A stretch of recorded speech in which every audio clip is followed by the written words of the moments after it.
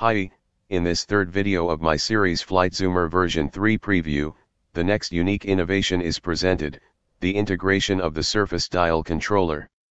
For the first time you can control the flight of your aircraft in all axes with a simple controller.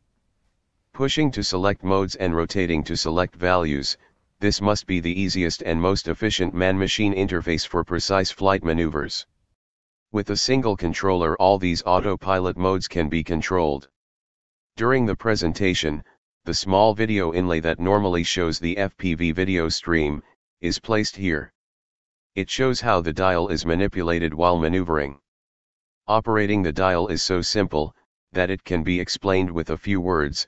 First, turning the controller changes the target value that is marked with the magenta flag.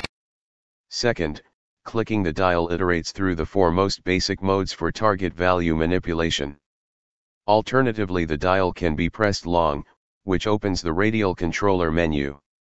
Here one of the following modes can be selected for target value manipulation, speed, track over ground, heading, turn rate, vertical speed, flight path angle or altitude. So let's see how this works in practice. First let's arm an altitude. As the target value is dialed in, the selected altitude bug is moving on the altitude scale. Likewise the altitude target line moves on the vertical situation display. The click sound simulates detents whenever the value changes. The vertical situation display perfectly supports us to choose a safe altitude to cross the mountain pass ahead. After that the vertical speed is selected. As we want the copter to climb with a constant climb angle, regardless of the forward speed, we have to change to the flight path angle mode. We set an initial climb angle of 20 degrees. As long as we have not yet set a positive forward speed, the climb will not begin.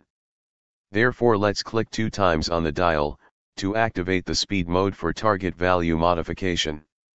By setting a rather fast forward speed of 50 km per hour, the resulting vertical speed is also quite high, as we can see as we follow the terrain up to the culmination point. If needed you can adjust the climb angle in order to maintain enough ground clearance.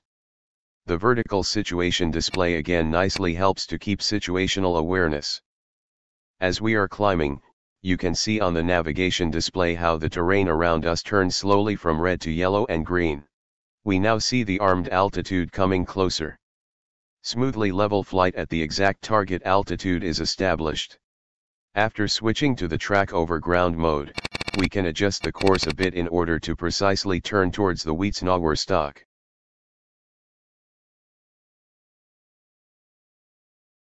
Two and a half minutes later we have reached the Weizsäcker Using the dial, we turn to the east to follow the south face of the mountain.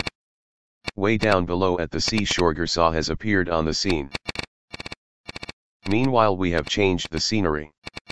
Flying between old industry and new office buildings you can see, how the aircraft can be flown precisely around sharp corners and through narrow street canyons.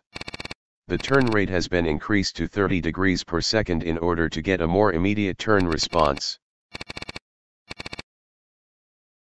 For a moment let's focus on the new engine indications here.